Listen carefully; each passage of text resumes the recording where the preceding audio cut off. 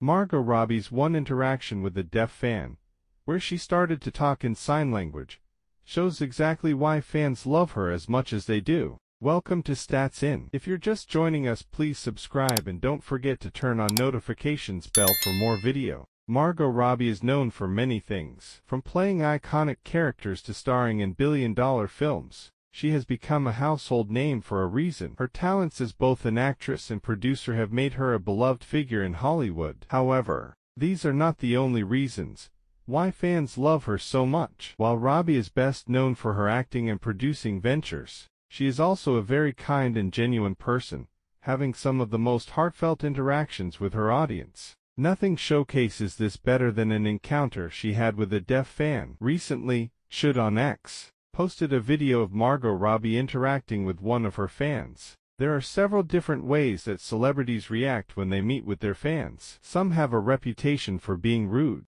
and some are standoffish. However, Robbie is known for being genuinely nice when she is with her fans, and this interaction shows this best. Okay, that's it for this episode. Thanks for watching. Please don't forget to share your thoughts in the comments section below. Please like, share, and subscribe for more. Margot Robbie's one interaction with a deaf fan, where she started to talk in sign language, shows exactly why fans love her as much as they do. Welcome to StatsInn. If you're just joining us, please subscribe and don't forget to turn on notifications bell for more video. Margot Robbie